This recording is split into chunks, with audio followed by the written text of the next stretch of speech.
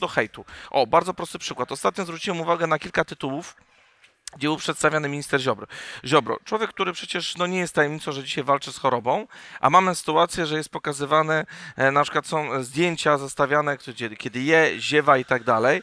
Obraz jest kreowany w taki bardzo negatywny. Wycinane są fragmenty, w których na przykład ma charakterystyczną chrypę. Ta chrypa jest wynikiem, no, okazało się, choroby onkologicznej prawdopodobniej, ale media sobie z tym nic nie robią. Znaczy, a Donald Tusk, piękny europejski, ładny garnitur, Hugo Boss pewnie i e, funkcjonuje na tych salonach jako ten e, celebryta, e, gdzie rzeczywiście chyba trzeba popracować, żeby tak dobrze na zdjęciu wyszedł, ale to nie jest złośliwość, tylko taka obiektywna No ocena. tak, ale wróćmy jeszcze do tego hejtu i też Zbigniewa Ziobry, no bo Zbigniew Ziobro rzeczywiście wylewa się na, wylewają się na niego No ta, ta, okropne... jak ona się tam nazywa, ta, ta, ta, ta pani... Eliza e, Michalik. Redaktorem, Przypomnę, przepraszam, pan- nie nazwę, ale no, już- no, no tak, no ale no błagam, no są granice, no przecież No, ta pani to już jest... Z jednej strony są granice, bo ona mówi, że przeprosi dopiero jak Zbigniew Ziobro Jak coś umrze. takiego można powiedzieć, no.